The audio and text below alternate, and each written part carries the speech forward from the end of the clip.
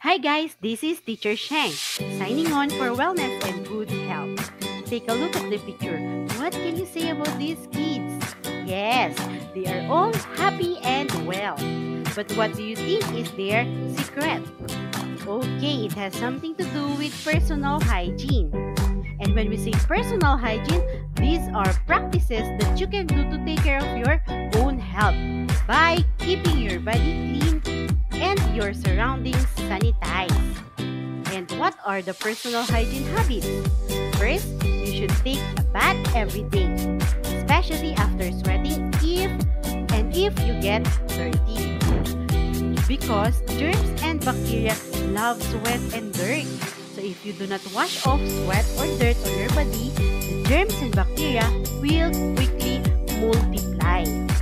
Bacteria and sweat also cause body odor. And here are the things to remember when taking a bath. First, use a soap and water. Second, soap your armpits, genitals, and feet thoroughly. Third, use a towel to dry your body. It should be clean. And fourth, avoid sharing soap and towels. For the next habit to keep your body healthy is to take care of your scalp and hair. And here's the proper, proper way to wash your hair and scalp. First, wet your hair thoroughly. Use just the right amount of shampoo. Massage your scalp well to remove dead skin cells, excess oil, and dirt.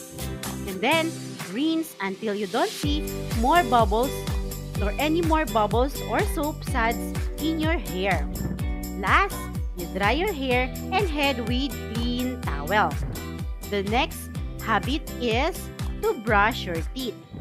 Do you know that the best way to to prevent tooth decay is to brush your teeth with toothpaste that contains fluoride. And here's are the things to remember in brushing your teeth. First, squeeze a pea-sized amount of toothpaste on your toothbrush. Second, brush all teeth, especially molars, in the back for at least 2 minutes. Third, spit the toothpaste out but do not rinse your mouth. Fourth, use your hands and some water to wipe your mouth. And fifth, rinse your toothbrush with, of course, clean water. The next hygiene habit is to cut your fingernails. Look at your fingernails. Are they dirty? Are they long? You should be cutting your nails short enough, following the shape of the nail.